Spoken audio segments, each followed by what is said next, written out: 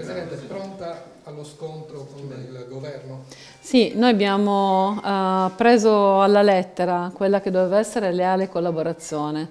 Siamo andati al Ministero uh, due settimane fa e eh, abbiamo portato quelle che erano le nostre istanze, che erano molto semplici in realtà e molto lineari, ed erano tre.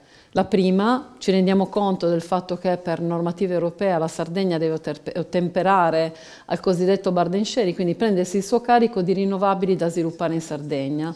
E quindi la cosa che abbiamo chiesto è che nel novero di questo carico e quindi di queste autorizzazioni potessimo noi decidere dove mettere queste autorizzazioni, perché abbiamo beni identitari da proteggere, abbiamo territori agricoli vocati che dobbiamo ovviamente difendere e abbiamo anche un contesto paesaggistico che deve essere ovviamente messo a fattor comune.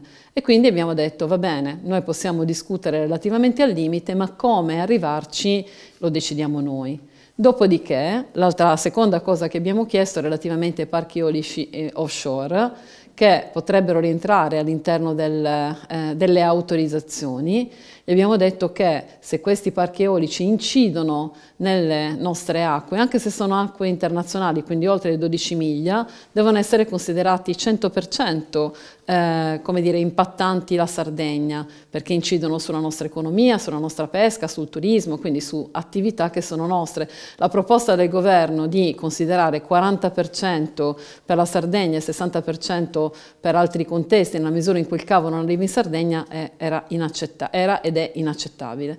Il terzo punto è per la crescita. Noi in questo momento abbiamo autorizzazioni che ben eccedono anche il limite di 6,2 che è stato posto eh, fino al 2030 dal governo e dalla normativa europea e su quello gli abbiamo detto voi dovete starne fuori, noi dobbiamo decidere come vogliamo crescere dal punto di vista energetico, come dobbiamo organizzare il nostro territorio e come dobbiamo organizzare la produzione di energia sulla base della nostra economia. Lo faremo con un piano energetico e lo faremo con una crescita organica.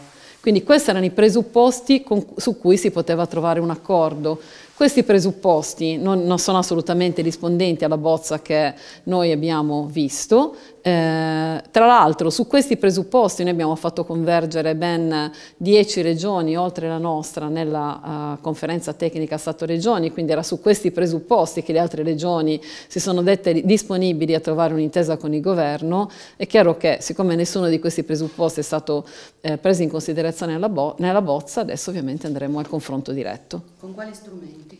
Beh, intanto accelerando il percorso del disegno di legge e rinforzandolo in Consiglio e ovviamente utilizzando anche il ruolo e il lavoro dei nostri parlamentari sardi. I parlamentari che abbiamo in questo momento espressione sia a Montecitorio che in Senato sono prima di tutto sardi e quindi rispetto a eh, per esempio contesti che sono già stati approvati in, uh, in, un contesto nazionale, penso al fotovoltaico per esempio nelle vicinanze di Barumini, ecco su quello si può agire esattamente come si è fatto sull'Einstein Telescope. Il progetto Gomorreta, che era un progetto che ricorda aveva già avuto l'autorizzazione, è stato rimandato al mittente con un emendamento nazionale e quindi è anche giusto e corretto che i parlamentari sardi di qualsiasi appartenenza politica facciano il loro lavoro.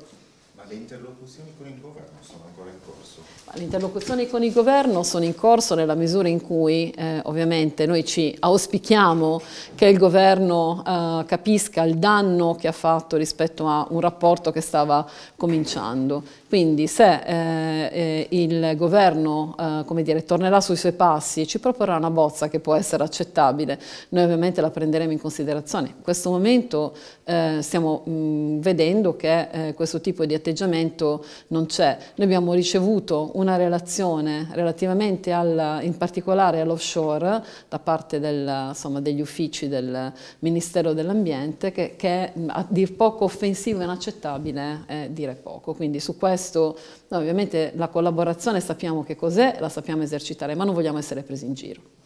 Presidente, devo chiedere, dopo l'incontro con Pichetto Fattini, lei è tornata molto ottimista, poi succede quello che sappiamo al decreto. La sua reazione politica ma anche personale, quale si senta presa in giro, delusa, amareggiata, cioè com'è che ha reagito di fronte a quella che io ritengo una provocazione? Ma noi veniamo da un ritardo di due anni e mezzo, noi veniamo da un ritardo di due anni e mezzo uh, rispetto alle aree idonee. Quindi la presa in giro di fatto già c'è.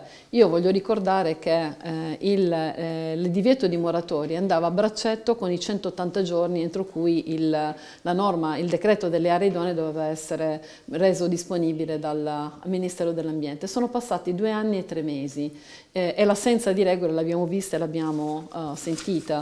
Quindi siccome noi abbiamo eh, avuto estrema chiarezza proprio per evitare fraintendimenti rispetto alle tre cose di cui ho parlato e quindi c'è stata ovviamente apertura, altrimenti non avremmo portato avanti le interlocuzioni, certo che mi sono sentita presa in giro. Mi sono sentita presa in giro ma non personalmente, mi sono sentita presa in giro come rappresentante della Sardegna. Noi abbiamo un territorio che in questo momento è attaccato, è sotto gli occhi di tutti e quindi riteniamo opportuno difenderci con ogni strumento e con ogni modalità e onestamente questo tipo di atteggiamento sicuramente mina anche la collaborazione futura. Lei ha parlato di rinforzare il disegno di legge, in che senso? Nel senso che ovviamente noi stiamo valutando insieme eh, agli uffici mh, qualsiasi eh, eh, modalità possa essere reso ovviamente più, più forte. Eh, quindi mh, sicuramente verranno proposti degli emendamenti che saranno rafforzativi da questo punto di vista. Io voglio essere chiara su questo, è una legge transitoria perché? Perché noi chiaramente dobbiamo lavorare su uh, elementi urbanistici, elementi paesaggistici, rivedendo anche la legge urbanistica e la legge paesaggistica, ma più che altro per trovare anche una disciplina uh, condivisa rispetto a norme che comunque hanno anche uh, la, la, loro datazione. Per questo siamo consapevoli che ci vuole tempo. Lo stesso Soru, che è considerato la best practice, da questo punto di vista ci ha messo più di un anno per fare la legge paesaggistica, per cui chiunque racconti che in 45 giorni sia possibile possibile portare una legge urbanistica, una legge paesaggistica, sta prendendo in giro i sardi. Siccome noi siamo persone serie, abbiamo bisogno di tempo e l'abbiamo dichiarato per fare in modo di poter preparare quelle che sono le norme definitive e nel frattempo però dobbiamo tutelarci relativamente al fatto che il territorio e il suolo non vengano modificati. Per questo abbiamo agito sulle realizzazioni, perché le, re le realizzazioni ci danno la possibilità nel transitorio di non avere effetti che possono essere definitivi. Chiaro è che se avessimo agito sulle autorizzazioni il eh, disegno di legge una volta licenziato sarebbe stato impugnato eh, come dire, immediatamente. Noi vogliamo eh, avere un percorso serio, abbiamo delle istanze corrette, stiamo cercando ovviamente di non danneggiare una transizione ecologica in cui noi crediamo fortemente eh, e io voglio anche riportare il, il discorso a quello che noi dobbiamo fare. Noi abbiamo due centrali a carbone in Sardegna di cui nessuno parla. Abbiamo due centrali a carbone che incidono sulla salute e la vita dei cittadini che dire, le devono subire. Quindi io vorrei riportare la discussione rispetto a quello che dobbiamo fare con serietà. Noi dobbiamo superare le centrali a carbone, dobbiamo superare i combustibili fossili, perché poi non possiamo fare lacrime da coccodrillo e lamentarci della siccità che sulle nostre cose, sui nostri territori in questo momento stiamo subendo e poi far finta di nulla. Quindi bisogna essere seri nella politica che si propone, però allo stesso tempo tempo non possiamo subire speculazioni. Noi useremo qualsiasi leva abbiamo a disposizione, nazionale e regionale. Mi, mi spiega Presidente come può incidere il disegno di legge sul decreto?